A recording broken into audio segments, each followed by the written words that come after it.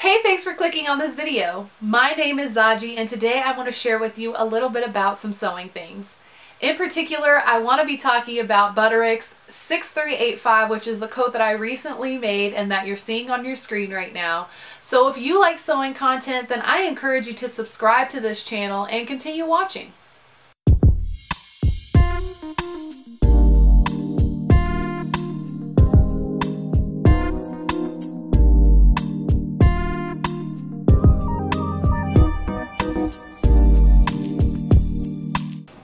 So this pattern is offered from Butterick and I sewed a size 12, a straight size 12, and I really do love the fit of this coat. It's not one that's very baggy. I'd say that it fits me pretty well.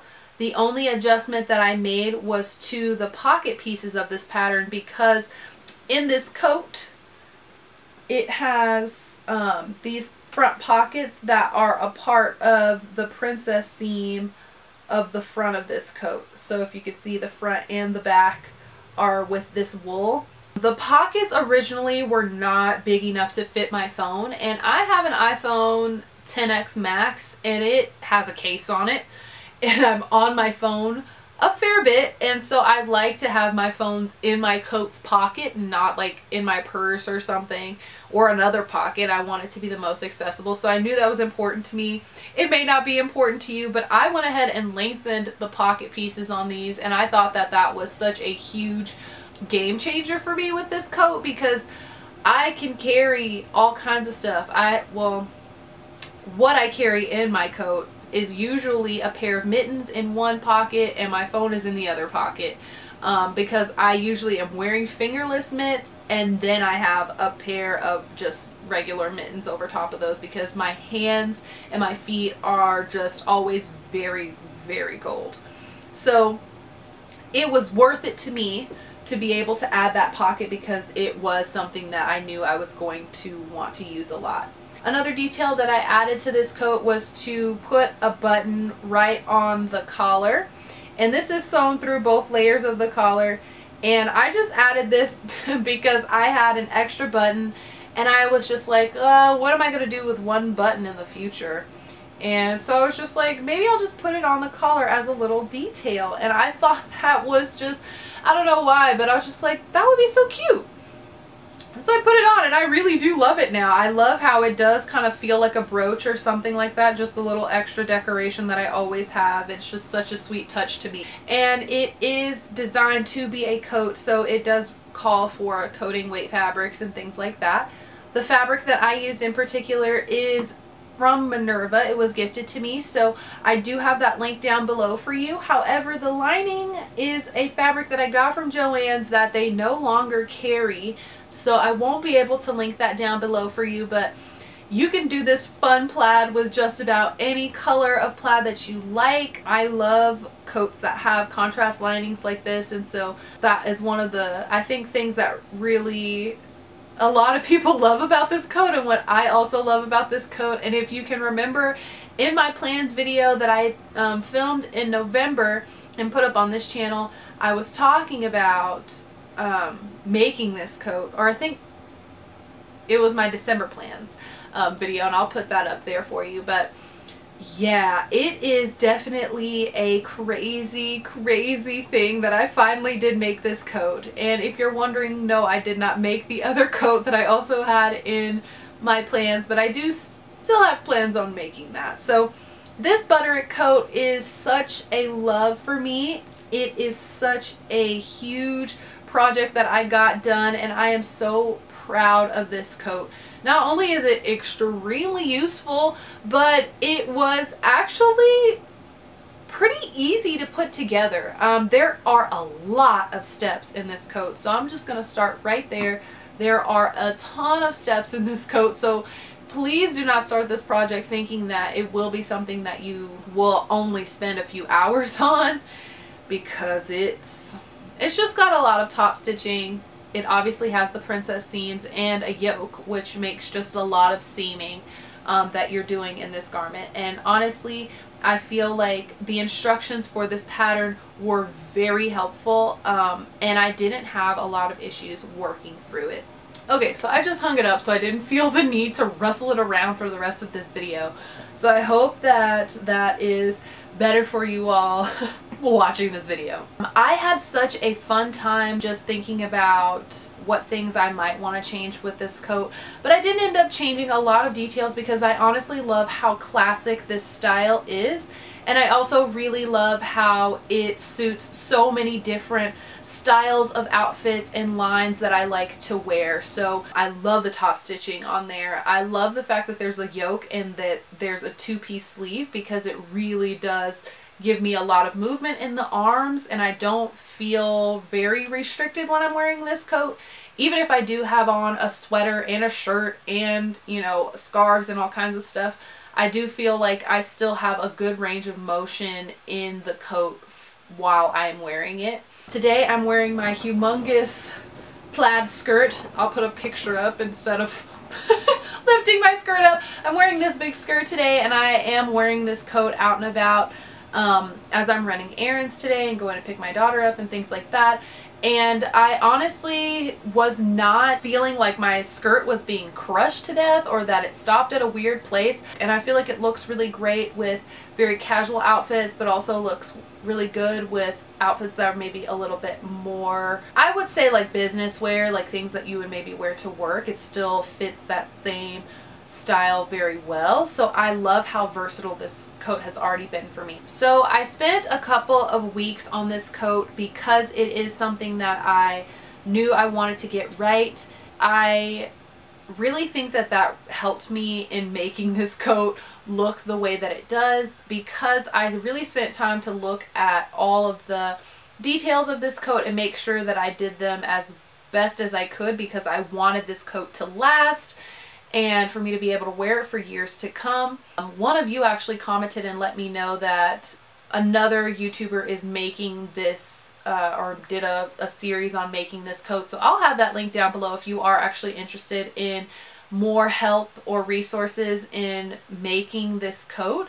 If you are interested in making it yourself, this video will not actually show you any of that kind of information.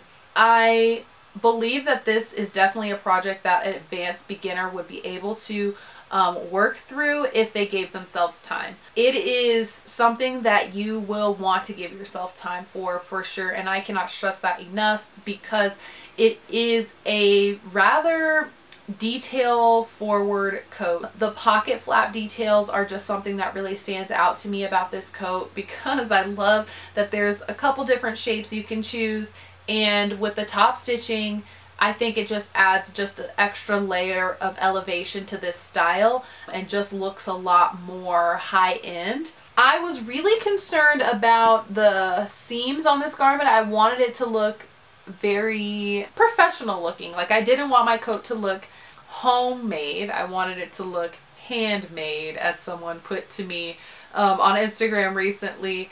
I love the fact that this does look like something that maybe you could buy in a store and I really think it comes down to I mean the details yes but also how flat I was able to get these seams and so my secret is actually a detergent bottle.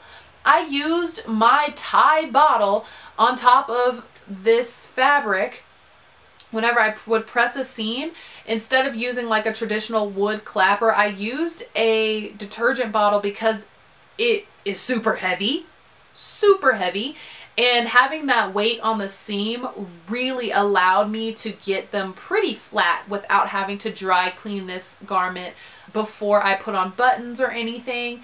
I do intend to dry clean this garment once it needs it, but I think that that was really something that made making this coat so, so easy because as gravity does the work of pulling the detergent bottle down on my wool coat, I can be working on other projects and things like that while I wait for the fabric to cool down and then move on. It is extra, extra, extra warm and I love the fact that there is a minimal interfacing with this coat pattern and also because of the heavyweight coating that I'm using, I definitely didn't need nearly as much interfacing as I normally would need. So that's a that's something that I think I really enjoyed about this coat as well. Um, when I sewed up this coat, I used a sharp stretch needle And I used a sharp stretch needle just because, so I used a 90, I think that's a 14 um, in UK sizes for needles, but a 90 stretch needle because um, I've made a couple of coats before and I know that it is easier for me to sew through these really thick fabrics and these really thick coats with a stretch needle because that eye is just a little bit bigger on there. I did also use a top stitch needle when I was going around and top stitching the outside of some of the more bulky layers of this coat like when I would top stitch over the pocket flaps I used that and I also used um, the top stitch needle whenever I was kind of securing where the lining and the shoulder seam come together because I didn't hand sew those together to to tack them. So I did make a couple changes in the construction, so I'll talk about that now, just because I feel like it may be useful to you if you are looking for ways to eliminate as much hand sewing as you can. So I don't recommend eliminating the hand sewing um, if it's something that you can stand to spend the time on just because it does make this coat look a lot more couture, a lot more high-end to not have as much of the stitching lines on there, like around the sleeve and things like that. So what I did um, for my sleeves, because you finish the sleeve outside first, and so um, I use my blind hem function on my sewing machine to do the sleeves, and it was honestly a nightmare. Mostly because this fabric is very thick. It's coating fabric. It's meant to be very thick. And um, where I messed up was the fact that I thought that maybe, I don't know, it would be easier to do the blind hem instead of doing a hand stitch. And in some cases, it may be. But for me, I just found that the fiddling of it took so much more time than just doing some simple hand stitching. And I want to caution you on getting caught up with the hand stitching. I want to say that just as kind of a reminder that when you are making garments and things for yourself, the only standard that you need to keep is that you're committed to enjoying this project. And so for me, I know that I'm held back from a lot of projects because I absolutely despise hand stitching. So if you're someone who knows that this project will sit forever because of the hand stitching, don't feel shamed or guilted because you are using your sewing machine instead of hand finishing the garment. It is 100 times better to have a garment that you can wear as opposed to a garment that has been sitting around that you will never wear or will take you months to actually get around to doing. If you don't enjoy hand stitching, then I encourage you to just stitch this the hems with your sewing machine and do as minimal hand stitching as you possibly can. I went ahead and did the hand stitching just because I wanted to challenge myself in an area that I know I'm not very comfortable in.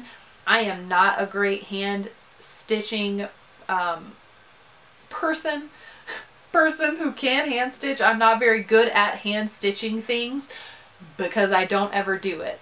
And I realized that there's a lot of garments that I have that I, you know, didn't finish with a hand stitch that I look back at now and I I wish that maybe I had. And so when I made this coat, I was just like, give it a go, Zaji, and see how it goes. So you'll see this is kind of the stitch, this is the stitch that I used for the hem of my coat. I simply took my coat to my cutting mat and laid it out really flat and for the outside layer, so for the wool part of the coat, I, I trimmed that up so that everything was even at the bottom. And then I marked with a friction pin about an inch and a quarter up from that uh, bottom hem that I evened off, or raw edge that I evened off, and used wonder clips to hold it at the bottom because I don't like to hand stitch and you don't need to base those for them to be perfect. My wonder clips hold things in place extremely well and if you have wonder clips I encourage you to use them for real in this purpose instead of doing the basting. I mean you can do the basting, it's up to you. But I used the wonder clips and that was awesome to hold into place for me while I was doing this catch stitch that I did on top. This hand stitch was going to be completely enclosed so I wasn't concerned with it being you know overly beautiful but I was more concerned on it being secure. So if you are unfamiliar with how to do a catch stitch or a slip stitch, I will leave some videos down below that really helped me when I was trying to figure out what I wanted to do or how I wanted to do the hand stitching for the bottom of my coat. So what I did for the liner or the lining of this coat was similar to how I found the hem for my outside wool layer, but what I did instead was lay out the lining, just lay it out flat on my table with the lining side up and I folded under just so that there was a little bit of a gap at the bottom between the lining and the wool part and I sewed it down that way. And that's probably, I mean, I'm sure there's more technical ways of describing that. I did follow basically the pattern's instruction as far as that goes. However, um, I had a lot of bagging out, I guess that I really should have done more of with the lining of my coat because I feel like my rayon has just shifted a little bit inside the coat. It's nothing that's unbearable or horribly noticeable, but I do really love the finish of my coat right now. Even though it is a little bit baggy, this coat was a beast. I think it was over 58 steps or just about 58 steps to complete this. So it was an absolutely insane project. I've made many coats for my daughter at this point. many and many coats for my daughter at this point. But this was the first coat that I really like proper coat that I made for myself with a lining. And honestly, I could do for more. I could definitely make more. And I do now really want to make the red plaid coat that I talked about in my December plans video. I'll just have that project kind of going on in the background. So that's going to be it for me today. If you like this video, I really do encourage you to subscribe and leave me a comment down below and let me know if you're making this coat or if you have had thoughts about um, making this coat. What are your plans in that regard, I suppose? And I'd love to chat more about it. But I will see you in the next video. Thanks so much for watching. Have a good day. Bye.